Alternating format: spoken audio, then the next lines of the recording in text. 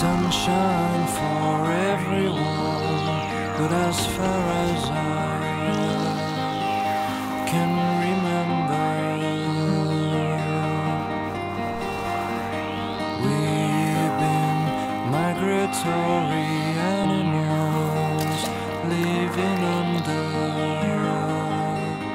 changing weather.